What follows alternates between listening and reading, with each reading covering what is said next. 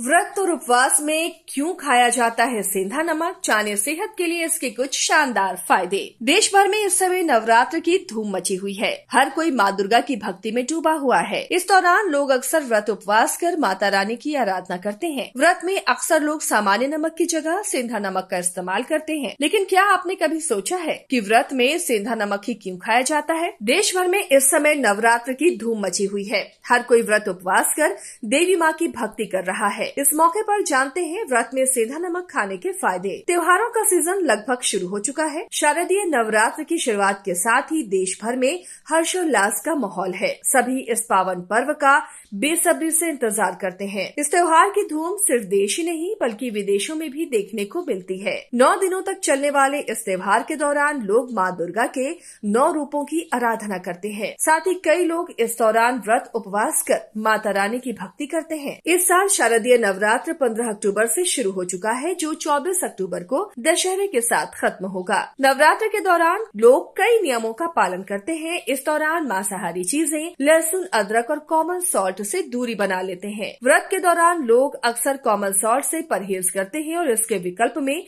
सेंधा नमक का इस्तेमाल करते हैं। लेकिन क्या आपने कभी सोचा है कि आखिर व्रत में सेंधा नमक खाने में मनाही क्यों नहीं होती? अगर आप इसकी वजह से अनजान हैं तो इस आर्टिकल में हम आपको बताएँगे, व्रत में सेंधा नमक खाने की वजह से इसके कुछ हैरान करने वाले फ़ायदे। व्रत में क्यों खाते हैं सेंधा नमक? सेंधा नमक आमतौर पर व्रत उपवास में काफ़ी इस्तेमाल किया जाता है। चूँकि उपवास के दौरान उन फूड्स को खाने की सलाह दी जाती है, जो हल्के हों और पचाने में आसान, और शरीर को डिटॉक्स करने में भी मदद करें। सेंधा नमक आपके भोजन को शुद्ध और स्वस्थ बनाने के साथ ही सेहतमंद भी बनाता है। व्रत में सेंधा नमक इसलिए अच्छा विकल्प माना जाता है, क्योंकि ये नमक का सबसे शुद्ध रूप है, जो अनप्रोसेस्ड होता है। जबकि टेबल सॉल्ट यानी सादा नमक को बनाने में कई केमिकल प्रोसेस इस्तेमाल किए जाते हैं और वो आयोजन युक्त भी होता है। व्रत में सेंधा नमक के फ़ायदे। सेंधा नमक व्रत के दौरान फ़ायदेमंद होता है क्योंकि ये शरीर को अंदर से ठंडा रखता है, जबकि अन्य नमक की तासीर गर्म होती है। चूँकि सेंधा नमक में सोडियम की मात्रा कम और पोटेशियम की मात्रा ज़्यादा होती है, यह आपके शरीर में इलेक्ट्रोलाइट्स के स्तर को बनाए रखता है,